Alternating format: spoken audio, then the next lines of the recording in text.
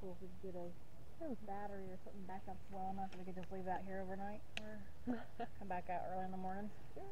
So people get out here. I know there's a motor back here. Yeah. We put a couple back in here.